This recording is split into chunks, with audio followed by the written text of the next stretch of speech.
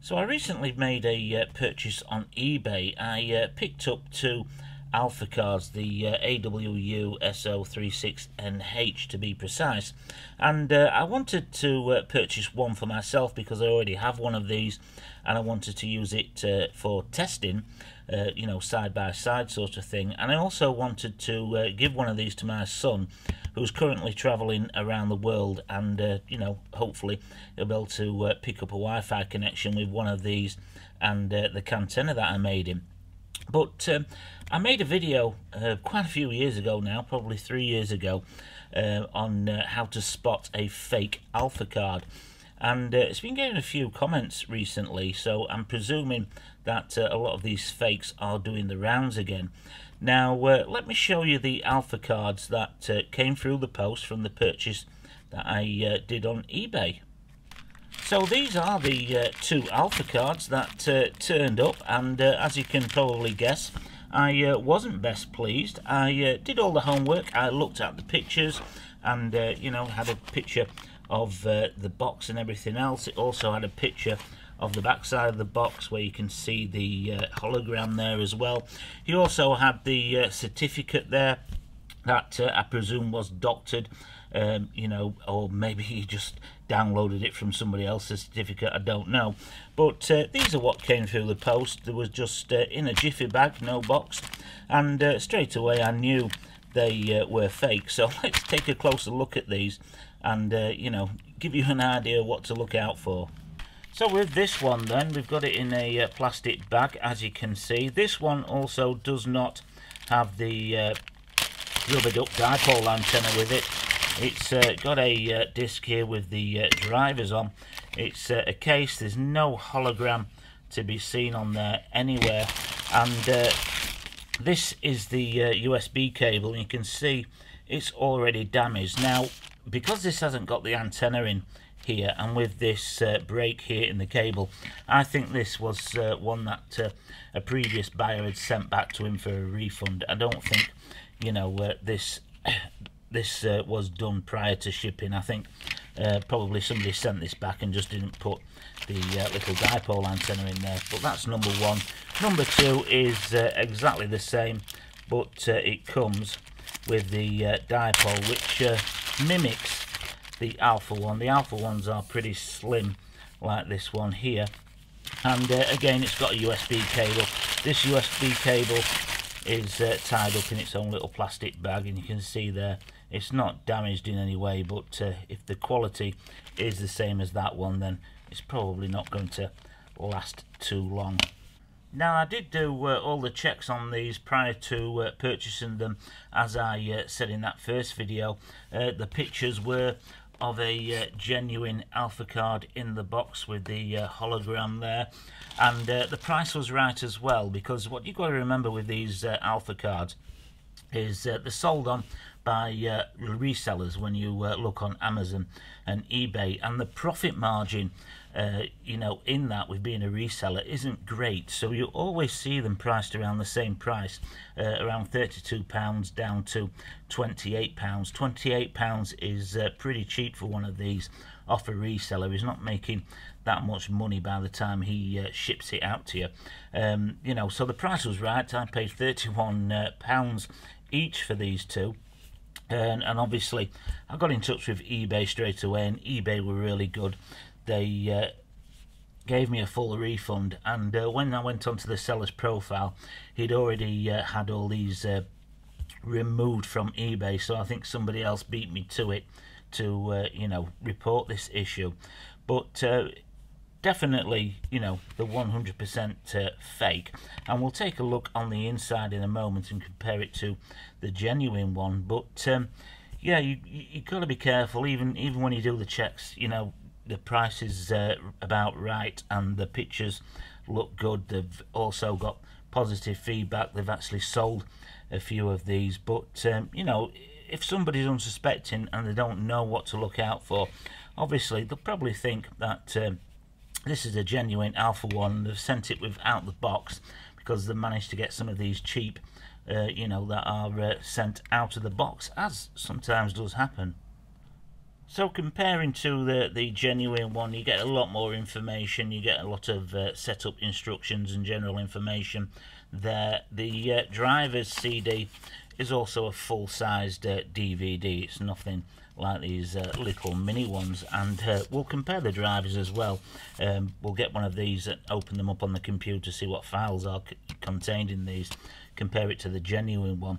Obviously, if I plugged one of these in and try to use the uh, Alfa drivers just wouldn't be compatible at all and uh, again in here you get a much better quality USB cable. It's also longer as well. This is the uh, dipole antenna you can see very very similar in uh, length and uh, construction. So it's hard to tell uh, the difference between that one.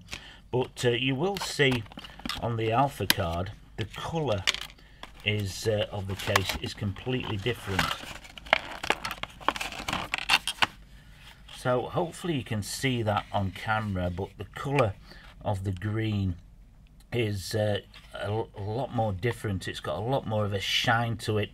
Uh, it's a lot more of a deeper green rather than uh, this one here that is, uh, you know, totally fake. And if we turn them over, you can see there that we've got the uh, serial number, the MAC address, which is you know missing off this one and we've also got that important hologram as well although as I said in uh, the first video I did on one of these uh, some people do go to uh, the trouble of uh, pirating the uh, hologram on these only because you know the money in this is probably cost about five pounds to make you know the uh, Wi-Fi board and everything else probably around a fiver so if you can spend another tenner getting a hologram made sticking it into one of these fake ones, then you can ask £32 for this. So it's going to be a profitable to uh, go to the trouble of getting the holograms made.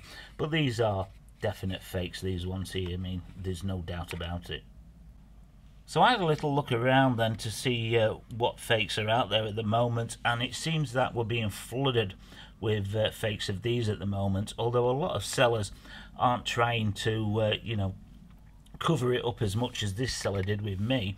Uh, they're openly uh, selling these for around a tenner, and uh, they're also claiming, funnily enough, that these are 2 watt adapters, which they won't be, and uh, Alfa wouldn't make something uh, you know with, with a 2 watt adapter because they probably wouldn't get uh, FCC regulation to sign off on that. But uh, also with 2 watts you need some uh, serious heat sinking going off inside the card as well. And if without that 2 watts is a lot of power. It'll burn itself out pretty quickly and he would probably also struggle to run 2 watts just off uh, the 5 volts USB in a laptop. You know, there's just not enough power in there to uh, drive uh, 2 watts. So, again, you know, walk away from one of those. And here's a look on the inside then at the boards themselves. I've got the uh, genuine one in the middle and the uh, fake ones on the outside. You can just visually see the difference. And as I stated in the, the first video I did on these fake ones, uh, get the FCC number off the back of the uh, Alfa, uh, type it in on uh, the FCC website and you'll bring up a whole host of information that uh, Alfa by law if they want to get it signed off by the FCC need to uh, give to them for testing. And you'll see the internal photographs and the specs and everything else. And uh, just match the internal photographs up I mean uh, this is the genuine one this matches the uh, photographs on that website completely different from these two. You don't need to be, you know, an electronics engineer to see there's uh, a vast difference between them. Um, I'm not going to go into, uh, you know, how one of these cards are made up, but you can just see uh, you've got probably twice as many components on the uh, genuine one than you do on these two cheaper ones. So I wasn't going to do a side-by-side -side test, but I think I'll get one of these and uh, the genuine one. And just do a quick uh, scan here in the lab to see what kind of access points we can pick up between the two. Because a lot of people say you know especially if you only pay a tenner for one of these you get ripped off. And uh, along on a lot of the forums you see people saying well so what? If it works it works you know you pick up access points. But uh, the thing is a lot of people buy these because they want it to work with Linux and uh, Backtrack. Uh, I haven't used Backtrack in uh, many, many years. But um, if uh, you're wanting to use it with that, then uh, it's not going to work because you need the genuine drivers and uh, the firmware and everything else that's on a genuine one to work in Backtrack and open up the extra features you can do with one of these that you won't be able to do with one of these cheaper ones. So let's give this a quick scan then, nothing too special on the uh, setup, just my laptop and an Alfa card at either side. On the uh, left hand side we've got the uh, genuine one and on the right hand side we've got the uh, fake one. So let's give them both a scan and see if we can see any differences in how they perform.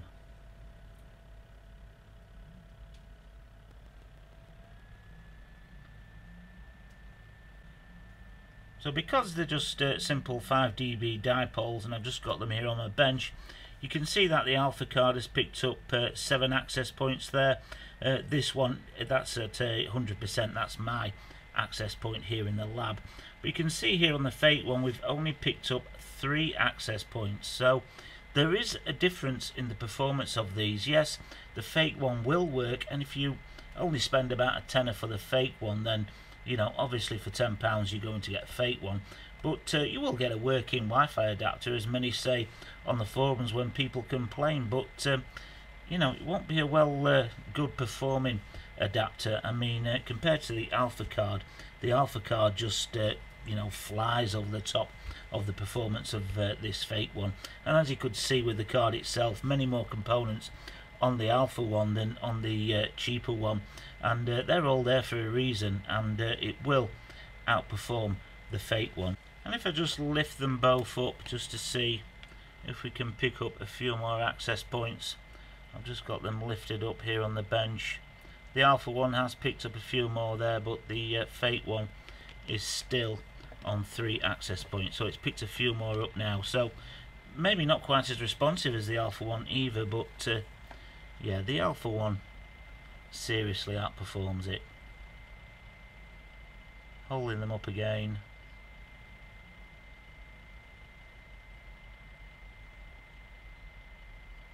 And uh, the Alfa one definitely uh, outperforms the fake one. So I hope uh, you found the video interesting and uh, hopefully I've added a little bit more information to that video I made a few years ago now and even when uh, you know you've done like I did you've uh, looked at the price the price around £32 is the kind of price you pay for one of these uh, off a uh, reseller a brand new Alfa card you looked at the pictures, you've looked at the feedback, everything looks kosher, but then you get sent a couple of fakes uh, through the post. Not a great deal you can do about that, but just get your money back off eBay or Amazon.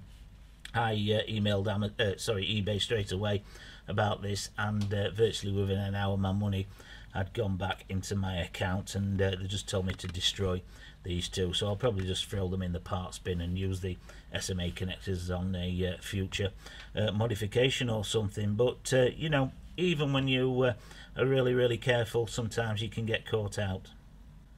So if you did enjoy the video, please uh, give it a uh, thumbs up. Any uh, you know comments uh, if you've been caught out, let us know in uh, the comments section, and hopefully you'll join me on the next one.